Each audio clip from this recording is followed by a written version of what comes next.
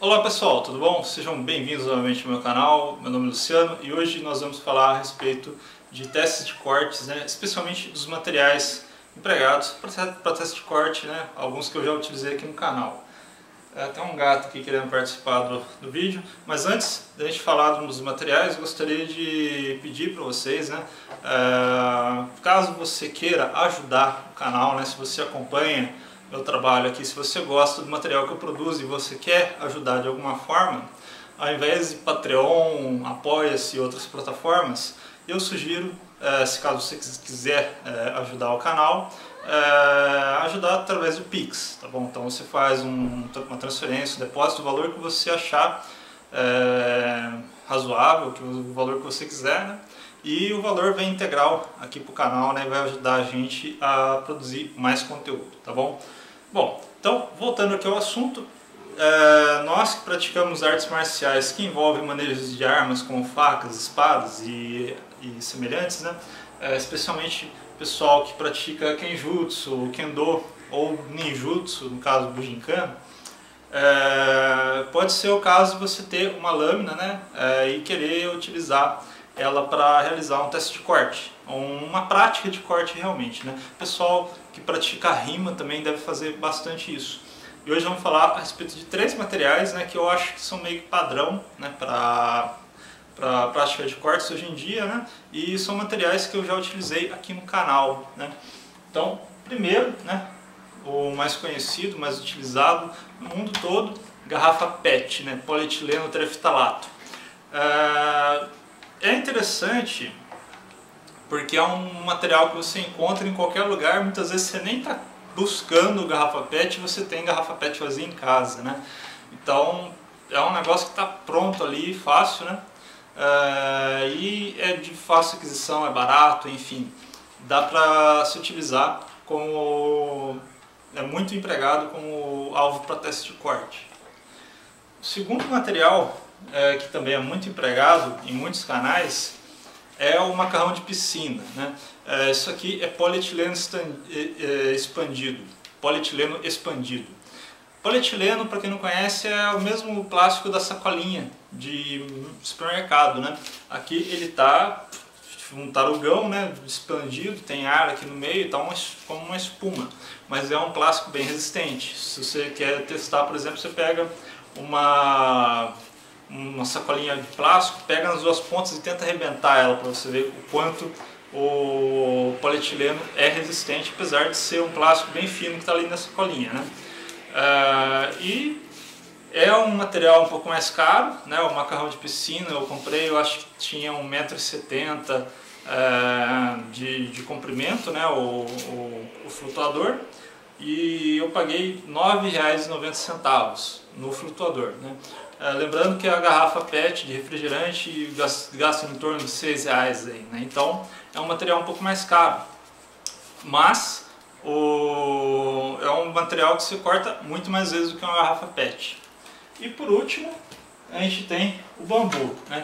que também é um material clássico, é empregado desde a antiguidade né? para treino e para avaliação né? de um, da qualidade de uma lâmina. Né? Uh, e é um material muito mais resistente. Aqui você não vai ter custo do material. Pelo menos eu nunca vi bambu para vender. Né? Uh, normalmente o pessoal vai lá e colhe, né? Corta um bambu e leva para casa para fazer alguma coisa ou leva para fazer um teste de corte. Já é um material, apesar de leve, é resistente. Isso aqui é madeira, né? Madeira, apesar de dele ter a parte oca no meio do, do bambu, né? A parte da, da, da, parede é madeira maciça, né? Não é uma madeira muito resistente, mas é, é comparável aí a um osso uh, de, um, de uma pessoa. Especialmente num corte como esse aqui, que foi feito bem no nó do, do bambu. Né? Então um corte limpo na região do nó do bambu demonstra que a técnica e que a lâmina estão muito bem é, adequadas né? e que o, o, corte foi perfeito. Né? É, então já é, esse aqui é o ápice. Né? Você, você, eu não indico que você tente cortar nada mais resistente do que bambu. Né? O bambu é o corte mais pesado que eu indico para você fazer com, com uma lâmina, com uma espada, enfim, com uma faca. Tem algumas pessoas que até tentam, querem fazer teste de cortes com, com carne, né? Comprar carne, compra um pedaço de costela, alguma coisa assim, e vai lá é, cortar. Eu acho que aí já, primeiro, é um material mais caro, né? Então você vai pagar um certo valor lá e dependendo de como que você manejar aquilo ali, você vai destruir totalmente aquela carne que talvez você estava pensando em consumir, a não ser que você vai picar tudo, fazer, sei lá, uma carne moída, coisas desse tipo, né? Fora que você tem que preparar, né? Porque vai cair no chão, enfim. É, tem que ter todo um manejo ali para manter uh, aquele material limpo para depois para você consumir, né? Você não vai ficar estragando carne para jogar fora, né? É, bom, mas falando aqui agora, é, a principal característica, né? que vai mudar quando você está tentando cortar um desses materiais é como que você vai fixar eles. Né?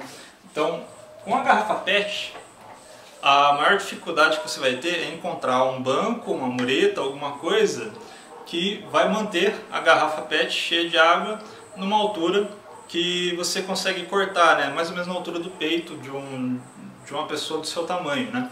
é, é difícil encontrar uma banqueta, uma mesa que esteja num lugar fácil para você fazer isso aí. E aí tem o risco de treinar com a garrafa PET, que é quando você erra. Né? Se você errar, você pode acertar esse suporte que você está utilizando, seja uma banqueta, uma mesa, alguma coisa desse tipo, né? e pode danificar tanto a banqueta ou a mesa, como dá pra, acontece de estragar a katana. Eu já vi pessoa é, pessoas, né, é, colegas que tiveram a, a katana gravemente danificada por conta de atingir uma perna metálica de uma banqueta tentando cortar uma garrafa PET, tá bom? É, a garrafa PET, ela é o corte é um corte bem diferente dos outros materiais porque ela é pesada, né? A garrafa vazia é, é muito leve, mas quando você enche ela de água, uma garrafa de 2 litros pesa 2 quilos uh, de massa, né? Uh, então você vai golpear ela e você sente né, que tem mais, mais resistência, tem mais massa, tem mais peso, né? Uh, e, e a desvantagem com o uso de garrafa cheia de água é que molha. Então você vai ter que fazer isso no quintal, numa área externa, né? É, você não, não, vai fazer isso dentro só da, da sala da sua casa ou dentro de um tatame de um dojo, né? Porque vai molhar tudo, né? Vai, enfim, vai ter esse inconveniente, né? E aí também gera o risco, né? Porque você está molhando o piso ali, dependendo do piso que for, se ele tiver molhado, depois quando você for continuar treinando, tem o risco aí de você escorregar e se machucar. Aí pode ser um ferimento grave, tá bom? Então é, tem que se tomar cuidado, né? É, é o mais fácil que tem para você arrumar, para você treinar, mas tem que estar atento é, se caso você for usar a garrafa PET cheia de água. Já no caso do macarrão de piscina e do bambu, a dificuldade é que você tem que fazer um suporte, né? É, eu acho que até tem suportes para vender, mas não aqui no Brasil, né? Não é muito difundido aqui. Mas se você tiver um tubo que você consiga inserir o, esse macarrão de piscina ou bambu ali dentro e prender, né, você vai ter ali um suporte que vai manter o, esse material né, ali pra, em pé para você realizar o corte. Né. Ah, quando eu utilizei esses dois materiais, eu deixei eles soltos, né, eu só enfiei no, no, no tubo né, e não prendi com nada dá para você adaptar, né? Por exemplo, você pegar o tubo, fazer um furo e atravessar um parafuso, né? E aí o parafuso vai encostar naquele material e vai prender ali e não vai deixar ele subir nem para cima nem para baixo, né? Ah, se você deixar ele solto dentro do tubo, vai ser mais difícil. Dá para cortar. Se vocês acompanham o meu canal, vocês veem os vídeos que eu estou realizando corte de materiais, dá para ver que está tudo solto ali e eu consigo cortar, né? Ah, mas tem a dificuldade. O material em movimento, né, ele é, é mais difícil de se cortar.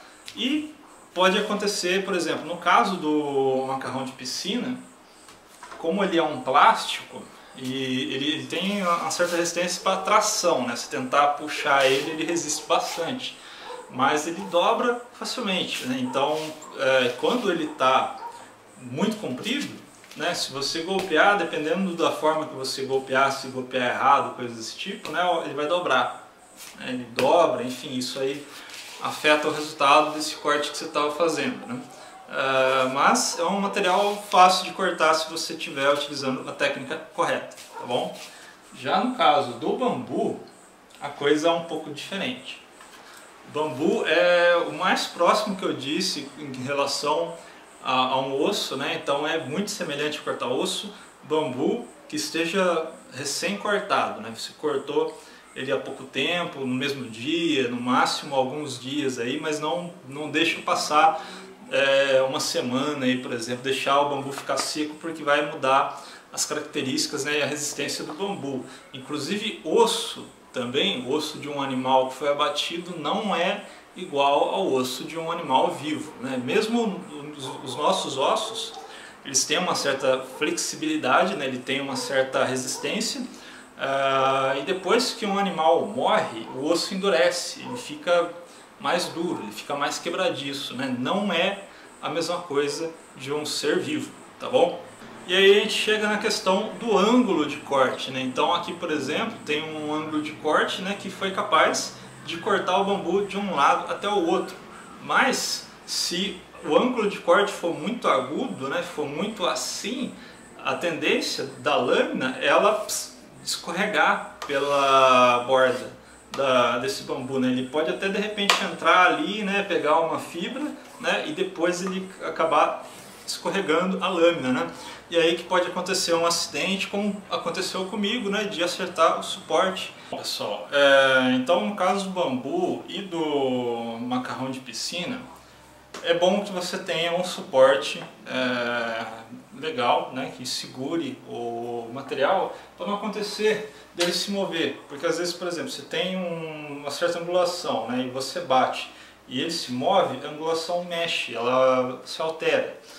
Pode acontecer esses problemas aí, mas como vocês estão vendo aqui, isso não impede que você consiga cortar o bambu, né, utilizando a técnica correta, né, é, e tendo um, algum ponto de fixação. Então, a minha dica que eu tenho para vocês, caso você queira praticar é, cortes com qualquer lâmina que seja, primeiro, procure um professor, procure um instrutor, né, um, alguém que saiba o que está fazendo, tá bom?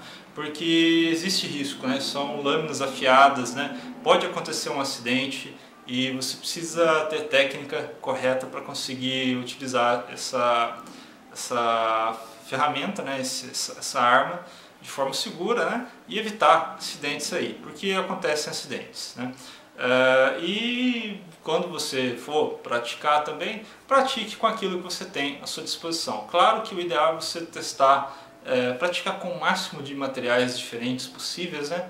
para você encontrar é, diferentes níveis de dificuldades. Né? Mas se você não tem bambu na, na sua casa, é, na sua região, nada impede que você utilize uma garrafa PET cheia de água, né? ou um macarrão de piscina se você tiver com dinheiro sobrando aí, puder comprar alguns aí para você realizar o seu, a sua prática, tá bom? Se você gostou desse vídeo, por favor, compartilhe ele com seus amigos, vamos ajudar o canal a crescer. Deixe seu joinha também, se você tem alguma coisa para comentar, fique à vontade nos espaço comentários. E se você não é inscrito no canal, por favor, se inscreva, tá bom? Muito obrigado por ter assistido esse vídeo e até mais!